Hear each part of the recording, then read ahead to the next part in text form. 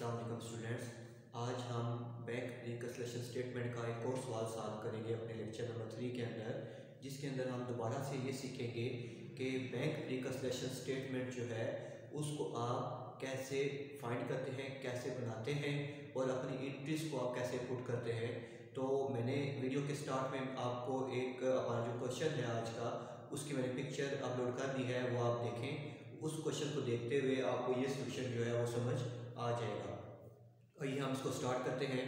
Question में सबसे पहले ऊपर आपके पास गिवन है balance as per cash book तो हमने स्टार्ट में यही लिखा balance as per cash book हमने मेंशन कर लिया इसमें थर्टी एट हंड्रेड रुपीज़ अब balance as per cash book मैंने आपको जैसे प्रीवियस लेक्चर्स के अंदर बताया था कि जब भी आपके पास balance as per cash book given होगा तो इसका मतलब ये होगा कि आपने कैश बुक को ठीक करना है। आपने कैश बुक को देखते हुए अपनी एंट्रीज को सॉल्व करना है और अगर balance as per passbook given होगा तो इसका मतलब है कि आपने पासबुक को ठीक करना है। तो कैश बुक गिवन है तो कैश बुक को ठीक करना है पासबुक गिवन है तो फिर पासबुक को आपने ठीक करना है। अभी हमारे पास यहाँ पर क्या है? Balance as per cash book है तो हमने कैश बुक को ठीक करना है, यानी कि कस्टमर की बुक को हमने ठीक करना है। तो अब यहाँ पर सबसे पहले अगर आप बहुत से देखें तो पहले एंट्री के अंदर आपके पास क्वेश्चन के अंदर गिवन था trade subscription paid by bank bank ने ट्रेड सब्सक्रिप्शन पेड की है. अब ट्रेड सब्सक्रिप्शन पेड की है, इसका मतलब ये है कि बैंक ने एक्सपेंस किया है. बैंक ने पैसे माइनस किए हैं अपनी बुक के अंदर. फॉर एग्ज़ाम्पल हमारे पास एक बुक है कैश बुक और एक बुक है हमारे पास पासबुक अब बैंक ने क्या किया? कि पहली एंट्री के अंदर ट्रेड सब्सक्रिप्शन पेड की, इसका मतलब ये हुआ कि बैंक ने पैसे अदा कर दिए बैंक ने माइनस कर दिए पैसे।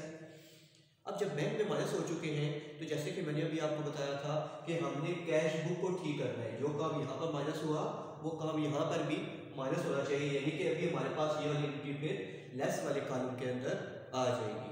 सेकेंड एंट्री के अंदर आपको वो कह रहा था चेक पेड फॉर एडवर्टाइजमेंट यानी कि बैंक ने एक चेक पेड किया एडवर्टाइजमेंट की बेस के ऊपर। फॉर एग्जांपल ये एक कंपनी का क्वेश्चन है। इस क्वेश्चन के अंदर क्या कहा गया कि आपने, आपके बैंक ने क्या किया? आपके बिहाफ के ऊपर एक चेक पे किया। जब बैंक ने एक चेक पे किया तो इसका मतलब ये हुआ कि बैंक ने आपका एक्सपेंस किया। बैंक ने पैसे माइनस किए। ठीक है? जब एडवर्टाइजमेंट के लिए चेक पे किया जाता है तो आपके अकाउंट में से बैंक ने अपनी बुक के अंदर माइनस किया होगा। जब बैंक ने माइनस किया तो आपको भी हम कैश बुक के अंदर क्या करना पड़ेगा? माइनस ही करना पड़ेगा। इसलिए हमने क्या किया, इसको लेस वाली कॉलम के अंदर मेंशन कर दिया वन नाइन्टी सेवन रुपीज़ उसके बाद आपको वो कह रहा है कि अनप्रेजेंटेड चेक हो गए यानी कि हमने एक कस्टमर को चेक दिया कि हमने इशू किया क्रेडिटर को अपने कि ये आप जाके पैसे बैंक से निकलवा लें। लेकिन उसने क्या किया कि पैसे बैंक से जाके निकलवाए नहीं। अनप्रेजेंट हो गया चेक वहाँ पर उसको पैसे रिसीव नहीं हुए। तो अनप्रेजेंट चेक हो गया मतलब ये है कि हमने माइनस कर दिया था। अब ये यहाँ पर क्यों आया?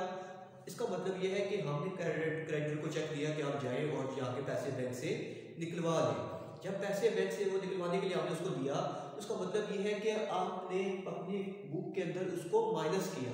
जब आपने माइनस किया एक्चुअली तो बैंक ने तो माइनस किया ही नहीं, क्योंकि बैंक में तो चेक प्रेजेंट ही नहीं हुआ। तो इस वजह से हम क्या करेंगे? जो माइनस कर चुके थे, इसको ठीक करने के लिए हम क्या करेंगे? आप इसको ऐड कर लेंगे ऐड क्यों कर लेंगे? क्योंकि बैंक ने माइनस नहीं किया बैंक ने क्रेडिट यानी कि पैसे अपनी आपकी अकाउंट में से माइनस नहीं किए।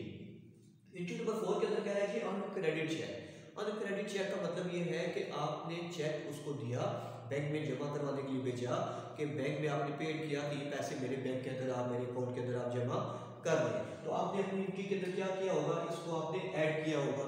जब आपने ऐड कर लिया होगा, लेकिन क्या हो गया कि वो क्रेडिट नहीं हुए यानी कि जमा नहीं हुए यानी कि बैंक ने इसको जमा नहीं किया। जब बैंक ने जिस काम को नहीं किया, हमने कर दिया है, अब इसको ठीक कैसे करेंगे? इसको प्लस वाली एंट्री को अब हम क्या करेंगे?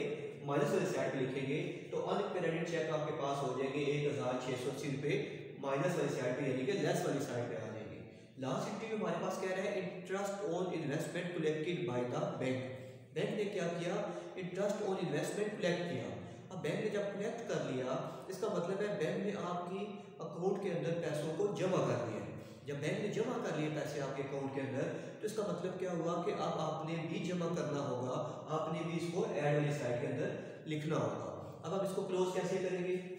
हमारे पास ऐड वाली टू इंटीज थी इलेवन हंड्रेड थ्री हंड्रेड को ऐड किया तो हमारे पास आ गया ट्वेल्व हंड्रेड हमने थर्टी एट हंड्रेड के अंदर ट्वेल्व हंड्रेड प्लस किए तो हमारे पास आ गया फिफ्टी टू हंड्रेड एड वाले कॉलम के अंदर। उसमें से ये तीनों प्लस करके मैंने बाय लिखे। अच्छा अक्सर स्टूडेंट्स क्या करते हैं कि वो समझते हैं कि ये ऐड करना ऐड कर दिया। ये वाले आपस में लेस करके बाय लिख देते हैं, ऐसे नहीं। ऐड करके बाय लिखना है ऐड करके बाय लिखना है। इस कॉलम के अंदर हम ऐड और लेस वाले कॉलम में जाके करेंगे यानी कि थर्टी एट हंड्रेड के अंदर हंड्रेड जमा किया तो हमारे पास आ गया फिफ्टी टू हंड्रेड इसमें से twenty three seventy seven minus करेंगे तो हमारे पास आंसर आ जाएगा two thousand eight hundred twenty three rupees अच्छा balance as per cash book होता है स्टार्ट में तो एंड में आपके पास आता है बैलेंस एज पर पासबुक इसका मतलब ये है कि अब आपके पास कैश बुक और पासबुक का बैलेंस जो है इक्वल हो चुका है। मैं उम्मीद करता हूँ आज का लेक्चर आपको समझ आया होगा। इसमें आपने जो चीज़ें याद रखनी है, वो ये याद रखनी है कि अनप्रेजेंटेड चेक आपके पास हेड होते हैं अनक्रेडिट चेक आपके पास माइनस होते हैं। अगर बैंक ने कोई चीज़ कलेक्ट की है तो वो ऐड होगी बैंक ने कोई चीज़ अगर पेड की है तो वो फिर लेस होगी। तो उम्मीद करता हूँ आज का लेक्चर आपको समझ आ गया होगा। बहुत शुक्रिया।